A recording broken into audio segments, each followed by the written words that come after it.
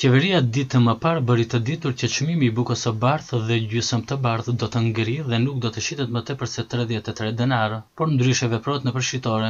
Furrtarët kërcënuan se nuk do të prodhojnë bukë nëse ngelen këto çmime dhe siç edhe shikoni nga pamjet që ka siguruar televizioni Pollogu, raftet e bukës nëpër shitore ishin të zbrazura. Buka është me çmim të tepërt sepse nuk është as një kilogram, por është treqind e pesëdhjetë gramë. Ne e kemi blerë sot bukën me dyzet e pesë denarë. Rrogat nuk përputhen me rritjen e çmimeve sepse kemi një ekonomi të dobët dhe jetë të vështirë thonë qytetarët. Dalin nëpër mediume dhe thonë që çmimi i bukës do të ulet, por çmimet nuk kanë ndryshuar.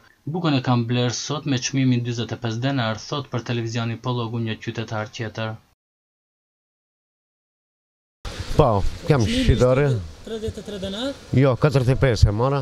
45 dena? Po, 45 denar.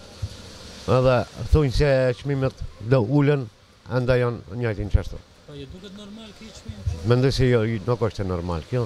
Duhet kjo të rregullohet, merret masë.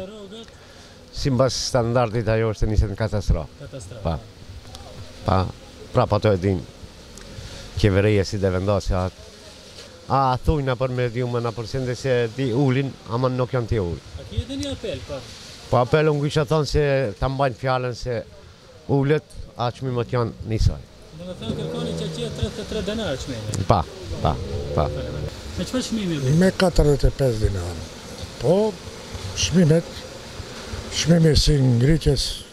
Ose monopoli... Bukën e keni blerë me 45 denar? 45 denar. Po. Dhe nuk është nga ajo se te çmimi, po është standard i jetës, se faktikisht buka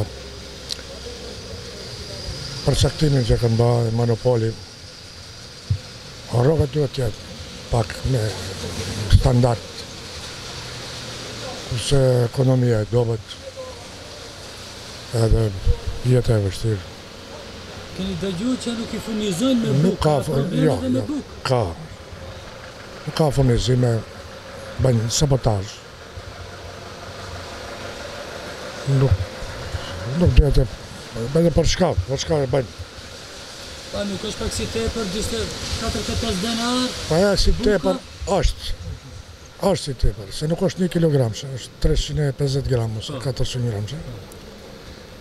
Edhe nga ai shkaku, diçka